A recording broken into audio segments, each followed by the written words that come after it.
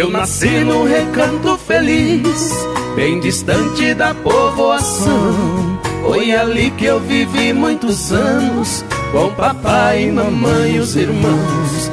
Nossa casa era uma casa grande, na encosta de um espigão.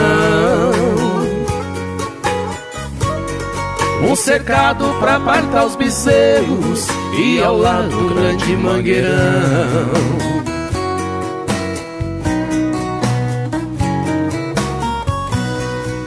Quintal tinha um forno de lenha e o pomar onde as aves cantavam, um coberto pra guardar o pilão e as traias que o papai usava. De manhã eu ia no paiol, uma espiga de milho eu pegava. Debulhava e jogava no chão, num instante as galinhas juntavam.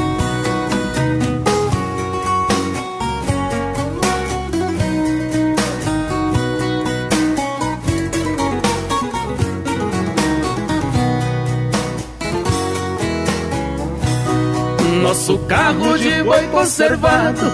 Quatro juntas de bois de primeira. Quatro cangas, dezesseis cansis Encostados no pé da figueira. Todo sábado eu ia na vila. Fazer compra pra semana inteira. O papai ia gritando com os bois. Eu na frente abrindo as porteiras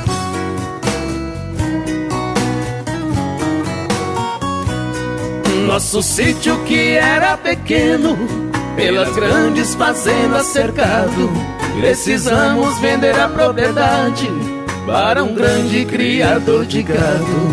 E partimos pra cidade grande, a saudade partiu ao meu lado. A lavoura virou colonhão e acabou-se meu reino encantado.